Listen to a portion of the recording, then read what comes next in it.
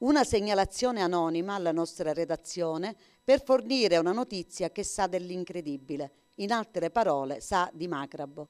Nelle prossimità della zona Mirto tra Partinico e Borgetto, misto a un cumulo di rifiuti, qualcuno aveva avvistato delle ossa, pare umane.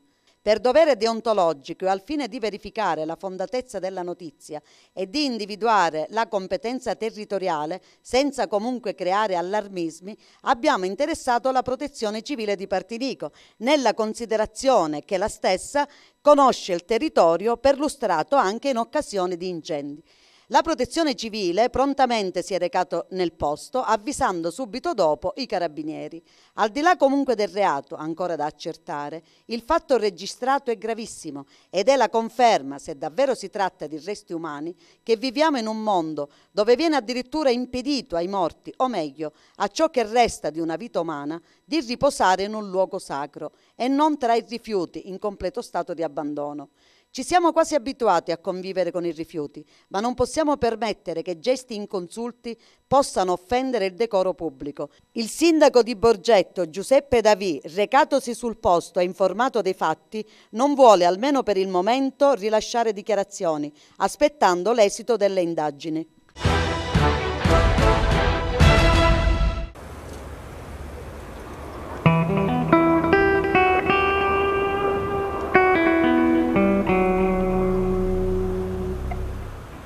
Immagini raccapriccianti di lunghe distese di cumuli che scorrono lungo il ciglio della strada. Misuriamo quanto c'è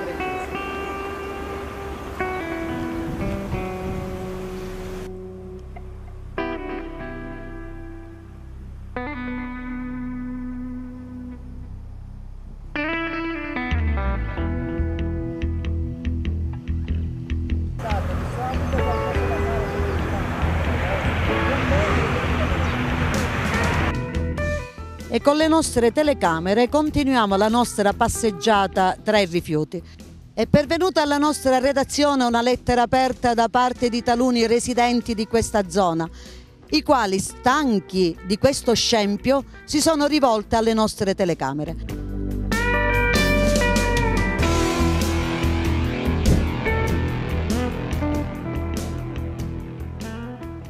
Noi ancora una volta diciamo basta non servono le parole.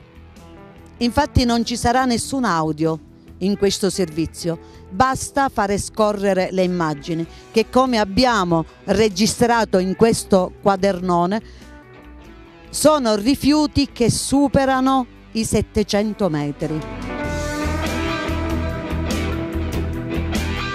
700 metri, anzi oltre oltre 700 metri di rifiuti.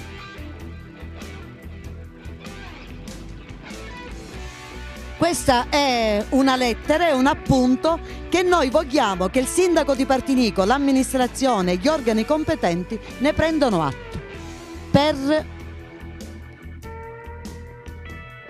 il sindaco e l'amministrazione tutta.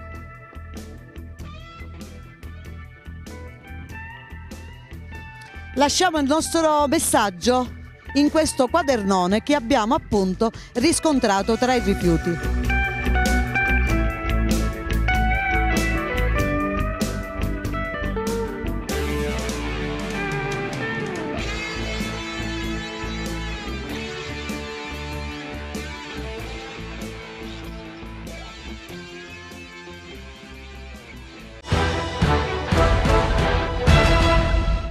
Mandare a casa il liquidatore del lato Palermo 1, costituire un consorzio fra comuni, fare decollare la raccolta differenziata. Per fermare l'emergenza occorre partire da qui. Il Comitato Intercomunale per l'Ambiente lancia la sua proposta in un'assemblea pubblica.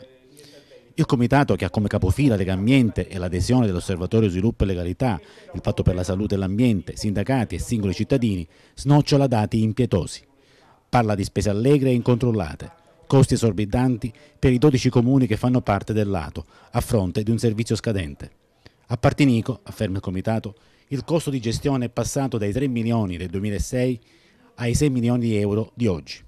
I costi sono lievitati a dismisura anche perché l'emergenza non è l'eccezione, ma la regola. Un meccanismo che l'ex assessore Bartolo Parrino spiega così. I costi sono decuplicati nel corso degli anni a carico del comune di Partinico nello specifico, ma a carico dei comuni. L'emergenza è continua perché io ho contestato ai vertici della società che dietro l'emergenza si gestivano eh, i rifiuti e gli appalti inerenti ai rifiuti in straordinarietà, facendo un ricorso illegittimo ed illegale all'articolo 54, cioè alla procedura negoziata, all'articolo 54 del codice dei contratti, che è un eh, ricorso eh, che si può fare solo in emergenza a questo istituto, ma a Partinico per lato Palermo 1 era diventato ed è diventato la prassi, la normalità. Questo l'ho contestato all'avvocato Geracio, al commissario liquidatore, al quale bisogna dire che non dobbiamo piangere miseria dei comuni che non pagano, ma bisogna giustificare ai cittadini le, eh, la mala gestione che lui ha avuto del lato Palermo 1 e le continue ingiustificate spese che hanno fatto lievitare enormemente il costo del servizio. Quindi l'emergenza è diventata quasi eh, fatta apposta? L'emergenza accade ciclicamente ogni 30-40 giorni, io l'ho contestato, ci sono i documenti che lo possono confermare, ogni 30-40 giorni c'è l'emergenza, ogni 30-40 giorni in questa emergenza vengono fatti eh, con ricorso all'articolo 54 affidamenti diretti per ricorso a noleggi di mezzi o comunque a gestione in emergenza e straordinarietà dei rifiuti. Questa è la cosa che eh, mi sento di contestare, per questo io ho chiesto le dimissioni del commissario liquidatore eh, Avvocato Geraci che invece è stato garantito dal sindaco di Partinico Salvo Lobiundo, il quale eh, ha eh, piuttosto preferito rimuovere un assessore scomodo che contestava le illegittimità di un atto eh, piuttosto che tutelare e garantire i cittadini di Partinico e quindi del proprio territorio e quindi eh, richiedere una gestione più corretta, più trasparente e più oculata della società d'ambito. La testimonianza senza peli sulla lingua di Parrino fa il paio con le affermazioni di un altro ex eccellente, l'avvocato Giacomo Palazzolo, dimessosi da presidente del Consorzio Servizi Integrati per le continue pressioni. Parole che acclarano il fallimento di un sistema perverso e la necessità di voltare pagina. Cosa fare dunque per uscire dall'emergenza? Il Comitato Intercomunale lancia le sue proposte. Le dimissioni immediate del, del, del liquidatore le dimissioni dei sindaci con responsabile altrettanto per non avere saputo trovare soluzioni adeguate per quanto riguarda questo problema. La costituzione di un tavolo tecnico con tutti coloro i quali i membri, diciamo soggetti dei 12 comuni intendono come noi portare avanti un processo di rinnovamento eh, diciamo delle, delle, delle gestioni. Poi rispondere a questa domanda perché non si fa una battaglia per, per recuperare la discarica baronia quando invece siamo costretti a ricorrere ai privati che fanno con le discariche private gli affari. Ma non solo, che fine ha fatto il miliardo che il comune di Partenico ai tempi della, della gestione Giordano ha ricevuto dalla regione per costruire un'isola ecologica? Nessuno ne parla più. Poi eh, procedere alla costituzione di un consorzio subito, quindi eliminare immediatamente con, la costituzione del consorzio eh, fra i comuni uno, un nuovo strumento di gestione che anticipa sostanzialmente quello che la riforma chiamiamola l'Assemblea regionale siciliana del Presidente Crocetta sta per realizzare. Dopo la pausa natalizia riprende il corso di formazione all'impegno sociale e politico organizzato dalla Chiesa Madre. Monsignor Gaspare Goppuso ha tenuto a Rosariello un incontro sul tema il bene comune nell'impegno sociale e politico, un tema che riguarda tutta la società perché il bene comune, assieme alla solidarietà, sussidiarietà e partecipazione, sono i principi della dottrina sociale della Chiesa che si rivolgono non soltanto ai cattolici ma anche ai laici. Si rivolgono a tutti perché la Chiesa per il suo stile e la sua storia non fa distinzioni e cerca di coinvolgere i cosiddetti uomini di buona volontà, come diceva Giovanni XXIII. Bene comune è non la somma del bene individuale, ma è proprio quel bene di tutti e di tutto di tutta la persona e tutte le persone, dei gruppi, dei singoli, delle famiglie, in modo tale che ci sia il famoso benessere. Il benessere è la conseguenza del bene comune evidentemente il bene comune c'è anche la disponibilità di ognuno per la partecipazione responsabile al bene di tutti come c'è anche da parte dello Stato il dovere di venire incontro ai bisogni dei singoli, limitando particolarmente l'individualità e soprattutto l'egoismo di pochi. Questo si chiama sussidiarietà da parte dello Stato, ma c'è anche il discorso della partecipazione, fare in modo cioè che le persone possano con responsabilità sentirsi artefici e attori della cosa pubblica, non passivi, non persone che sono gestite da altri, ma persone che devono alta ad essere gestiti ma soprattutto governati in maniera democratica e responsabile. Oggi come si fa a rilanciare questi principi in una società in crisi? Ma credo che sia importante la mentalizzazione, mentalizzare, fare in modo che tutti possano avere questi stessi principi e metterli in pratica soprattutto a livello democratico. Quando ci saranno le elezioni fare in modo che non ci siano privilegi e partiti e singoli per interessi privati, ma che si privilegi il bene di tutti in modo che tutti ne trovino un beneficio e un benessere.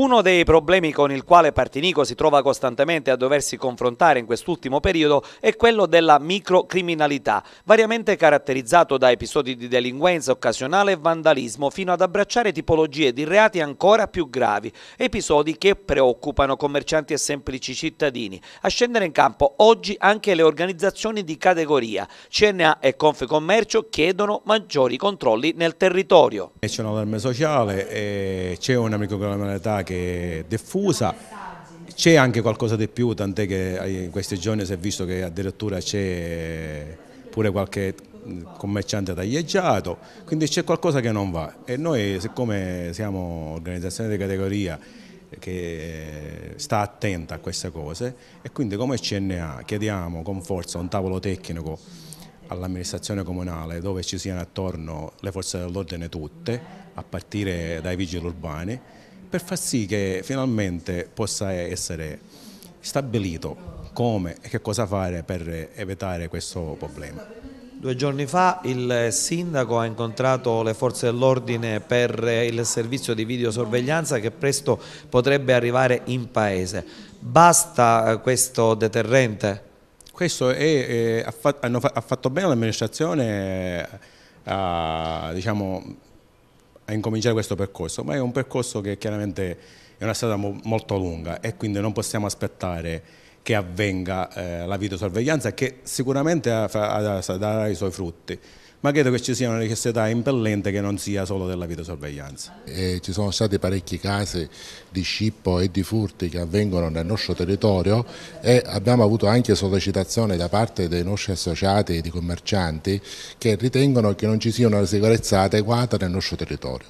Questo lo vediamo oh, giornalmente che si registrano oh, sia nelle case private sia anche per le strade sia anche davanti ai negozi fatti che non, non sono diciamo, confacenti con quello che è la nostra, eh, il nostro territorio e riscontriamo che questi fatti così gravi che avvengono nel nostro territorio, questi fatti di microcriminalità eh, che si stanno verificando sono dei fatti che, eh, ai quali bisogna porre dei rimedi e noi il rimedio che noi te, eh, crediamo di anteporre è quello di fare eh, la prevenzione. Prevenzione significa eh, sollecitare le forze dell'ordine, sia eh, la Guardia di Finanza, i Carabinieri, la Polizia, i Vigili Urbani in particolar modo e quindi in questo caso l'amministrazione comunale affinché si attivi ad un tavolo eh, insieme alla prefettura affinché ci sia la salvaguardia del nostro territorio. Noi parliamo salvaguardia e sicurezza, questo diciamo, è la cosa più importante che noi riteniamo di fare e che se riusciamo a coinvolgere anche altre forze sociali in questo tipo di ragionamento riusciamo ad essere più incisivi e più forti per ottenere un risultato che sia confacente sia nei confronti dei commercianti sia nei confronti di tutti i cittadini perché tutti i cittadini sono esasperati di quello che sta succedendo nelle nostre zone. Un segretario in comproprietà fra due comuni. L'iniziativa è stata concordata dal sindaco di Giardinello Giovanni Geloso e dal collega di Trappeto Giuseppe Vitale, nell'ottica di una politica di rigore che punta a ridurre la spesa pubblica. Si tira la cinghia, insomma, dove si può. Ad essa guidare l'apparato burocratico dei due municipi sarà la dottoressa Anna Maria Orlando, da circa sei anni in servizio a Giardinello.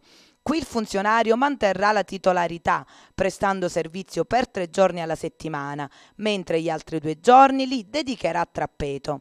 La spesa sarà ripartita per il 60% a carico del bilancio di Giardinello, con un risparmio annuo di circa 25.000 euro e per il restante 40 su quello di Trappeto.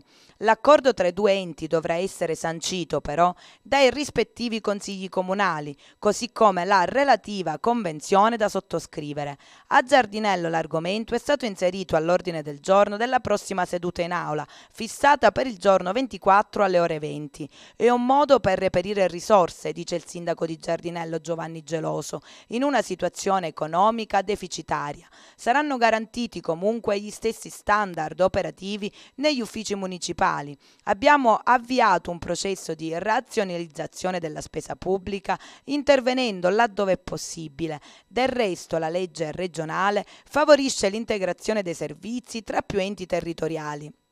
Anche il segretario comunale ha condiviso questa scelta.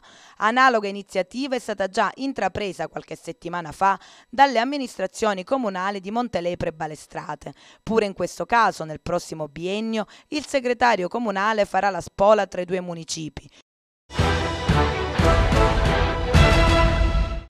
Due persone che si trovavano ai domiciliari sono state arrestate dai carabinieri della compagnia di Monreale. L'azione, spiegano i militari, si inquadra nell'ambito di un vasto servizio coordinato di controllo del territorio effettuato mercoledì scorso. In carcere sono finiti Anna Salerno, 43 anni, ed Angelo Marino, 45, entrambi di Monreale. La donna che è stata condotta al Pagliarelli aveva già più volte violato le prescrizioni della misura a cui era sottoposta. Il 10 gennaio scorso era stata peraltro già arrestata arrestata per evasione, ma all'esito della convalida era stata nuovamente posta ai domiciliari. Il Tribunale di sorveglianza però su richiesta dei carabinieri che avevano contestato le diverse infrazioni perpetrate e la recente evasione ha successivamente inasprito la misura con la custodia in carcere. È stato inoltre tratto in arresto il 45enne Angelo Marino sottoposto alla misura della detenzione domiciliare per espiare la pena di quattro mesi di reclusione per il reato di ricettazione. Numerosi inoltre le denunce in stato di libertà. Proprio a Monreale, a seguito di un'accurata attività investigativa, i militari hanno denunciato per il reato di truffa LPP, che con una serie di raggiri aveva segnalato a un'assicurazione un sinistro stradale mai avvenuto con una ignara malcapitata al fine di percepire ai suoi danni l'indennizzo.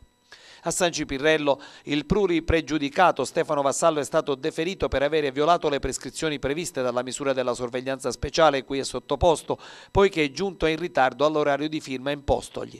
Inoltre, a seguito di serrati controlli alla circolazione stradale, sono stati deferiti cinque soggetti per violazione degli obblighi di custodia di veicoli di loro proprietà, già sottoposti a sequestro amministrativo. Un cittadino che aveva rifiutato di fornire le proprie generalità durante un controllo, una donna palermitana che a seguito di perquisizione veicolare veniva trovata in possesso ingiustificato nel cruscotto della vettura di un coltello da cucina di 40 cm. Due persone per guida in stato d'ebbrezza. Durante lo stesso servizio due minori mordialesi venivano colti in possesso di modiche quantità di marijuana e hashish e segnalati al prefetto per uso personale di sostanza stupefacente. I carabinieri della compagnia di Monreale, nel corso dei periodici accertamenti fatti congiuntamente ai tecnici della società dell'Enel per arginare il sempre più diffuso fenomeno dei furti sulle pubbliche utenze, hanno arrestato due persone. Si tratta di GG, monrealese di 58 anni, gestore dell'esercizio Aurora Market, corrente sulla strada provinciale nella frazione di Pioppo. Il prevenuto è risultato responsabile di aver alterato il contatore afferente alla sua attività di rivendita di alimentari con un magnete, così da registrare consumi inferiori del 90% circa rispetto a quelli effettivi. Il secondo arresto è stato operato nei confronti di un operaio GC, 37 anni di San Cipirrello, che aveva manomesso il contatore realizzando un allaccio diretto alla rete elettrica pubblica. Entrambi i trasgressori hanno passato la notte ai domiciliari e sono stati sottoposti al rito direttissimo, conclusasi con la convalida degli arresti e avendo richiesto i termini a difesa sono stati rimessi in libertà, poiché incensurati in attesa delle ulteriori fasi del dibattimento. Questi comunque dati relativi agli arresti e le denunce eseguiti dai carabinieri dall'inizio dell'anno fino alla data odierna, relativi al reato di furto di energia elettrica e truffa. Nove persone tratte in arresto, di cui sette uomini e due donne, una persona denunciata in stato di libertà, di cui un uomo.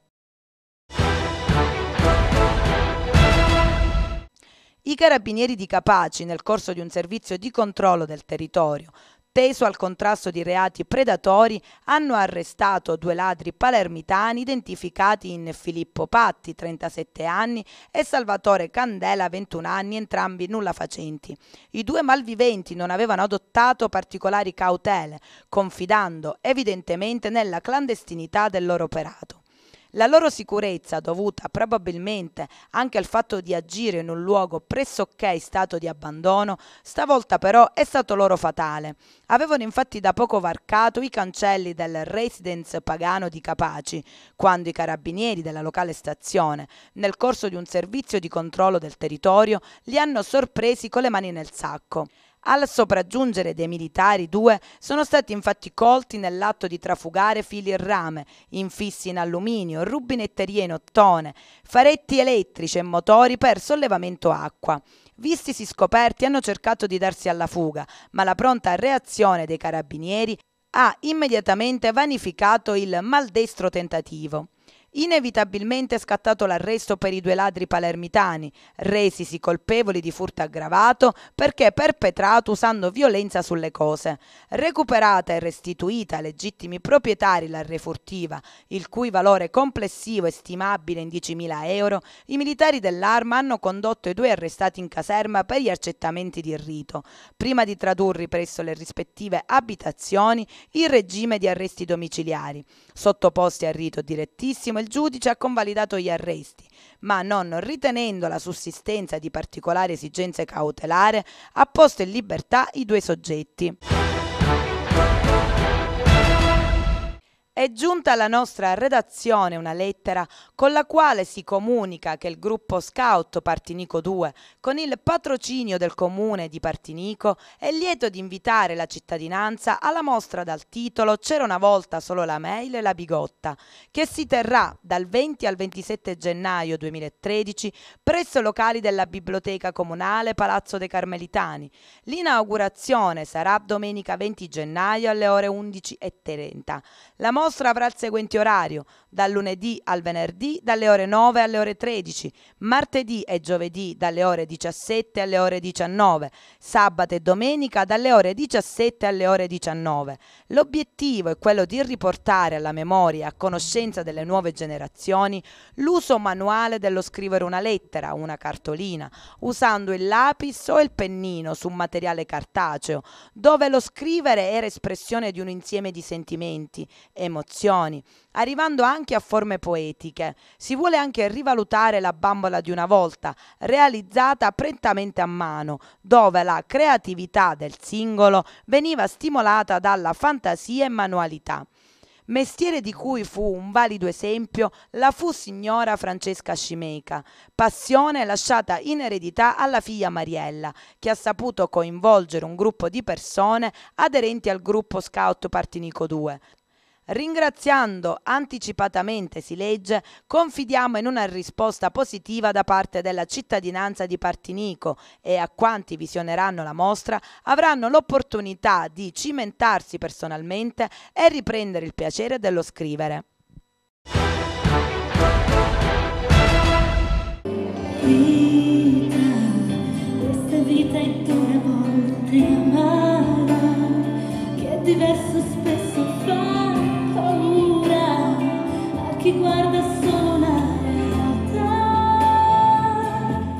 Un musical interamente realizzato in un centro confiscato alla mafia. La bella e la positiva esperienza è firmata dall'associazione Gatto Silvestro che gestisce un bene strappato a Cosa Nostra in via Enrico Fermi. Ad essere stato realizzato il musical di Pinocchio, celebre favola di Collodi. Per l'occasione l'associazione ha organizzato un vero e proprio tour che ha avuto inizio questa mattina alla scuola media Archimede.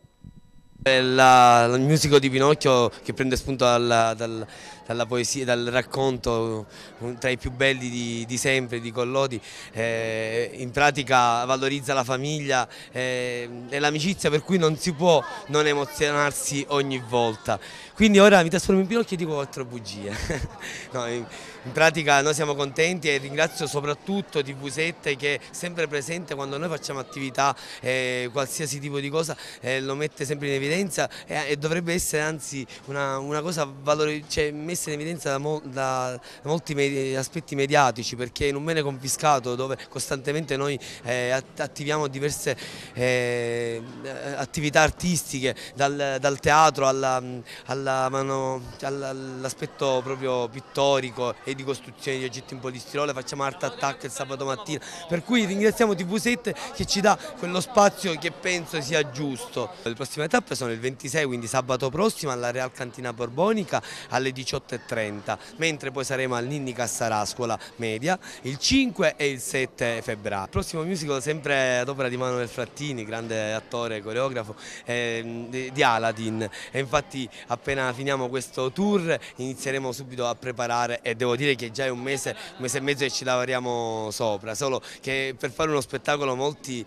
Io ci tengo a precisare una cosa, Innanzitutto a Partinico ci sono diverse associazioni artistiche, però non hanno la voglia di confrontarsi. Io quest'anno, grazie al, confronto artistico che è la scuola di danza Unitropicana Danza, abbiamo abbiamo realizzato il museo di Pinocchio con un livello artistico che eh, non è indifferente. E molte associazioni artistiche mh, si chiudono nel proprio guscio e non va, non va. Eh, per cui quello che invito a, a tutti di, eh, di, essere, di confrontarsi artisticamente e non chiudersi nel proprio, nel proprio, nel proprio gruppetto perché così non, non essendoci confronto non c'è crescita sociale e non c'è crescita artistica.